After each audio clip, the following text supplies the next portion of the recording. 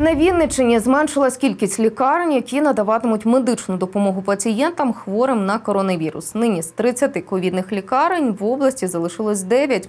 У департаменті охорони здоров'я кажуть, такому значному скороченню кількості опорних лікарень посприяла стабілізація захворюваністю на COVID-19.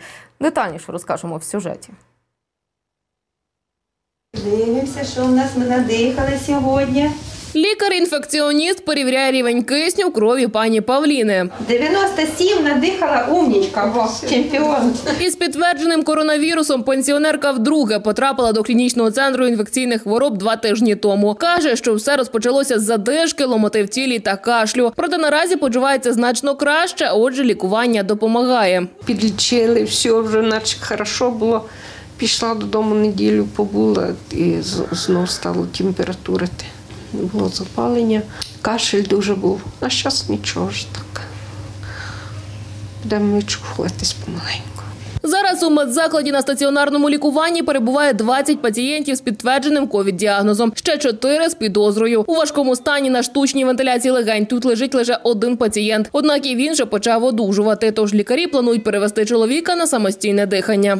Полегшення однозначно є. Людей менше, менше потребують невідкладної допомоги. Але якщо у відділенні є хоча б один хворий, який є на штучній вентиляції легень, то він потребує дуже багато уваги і нагляду 我的包 Медики стверджують, що наразі завантаженість ковідних ліжок у закладі зменшилася на 30%. Зараз у нас завантаження невисоке, але якісне, тому що виходить, що поступають пацієнти з е, коморбідними станами та хворобами, тобто це супутня патологія, яка є. Це і онкопатологія, це і е, тромбофлібіти, це цукровий діабет, це ожиріння, це гіпертонічна хвороба, це ішемічна хвороба серця. Клінічний центр інфекційних хвороб один з дев'яти лікувальних закладів області, що продовжує приймати пацієнтів з коронавірусом. Головний лікар згадує, що кілька місяців тому завантаженість ліжкомість була понад 80%. На сьогодні це менше 15%. Наша лікарня залишиться з е, пакетом е, по наданню послуг е, стаціонарної допомоги з коронавірусною хворобою при будь-яких умовах. На сьогоднішній день це 195 і цю кількість зменшувати напевне не будуть для того, щоб можна було забезпечити будь-яку е, хвилю підйому цього захворювання. А це центральна районна лікарня у місті Калинівка. Донедавна кожна палата тут була переповнена ковідними хворими. Проте у червні заклад повернувся до звичного режиму роботи. Ну, З початку пандемії у нас був виділений перший корпус, це хірургічний корпус, е, два поверхи е, і реанімаційне відділення були перепрофільовані під ковід, і весь корпус е, працював. Лікарня працює зараз в звичному режимі. Тобто відновлена робота всіх відділень, планові госпіталізації, ну всі госпіталізації. От, е, відновлені, працюємо так, як до пандемії. Ми повертаємося до нашого звичайного режиму роботи.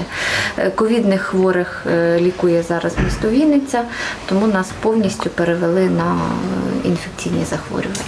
Загалом на Вінниччині значно скоротили кількість опорних лікарень, які приймали хворих на коронавірус. Нині з 30 медзакладів залишилося всього 9. Базовими лікарнями є Вінницька міська клінічна лікарня номер 1 Вінницька міська багатопрофільна клінічна лікарня, клінічний центр інфекційних хвороб, тізіопульмонологічний клінічний центр. Ми розписали маршрути по районам, по області е, для того, щоб екстрена медична допомога бригади могли якнайшвидше довести пацієнтів е, найкоротшим шляхом. У департаменті охорони здоров'я кажуть, що ковідні лікарні перепрофільовуються через стабілізацію ситуації з коронавірусом. В нас е, реєструється зараз ну, від 20 до 30 нових випадків за день. Е, І, на щастя, все ж таки кількість людей, які потребують госпіталізації, також суттєво зменшилась. На сьогодні в нас 252 пацієнта в стаціонарі. Проте у департаменті наголошують, що всі ковідні ліжка у лікарнях залишаються в резерві, а інфекційні відділення з киснем, адже наступну хвилю коронавірусом за прогнозами епідеміологів очікують вже на початку осені. Анастасія Антонюк, Ірина Гойнік. Новини. Правда тут.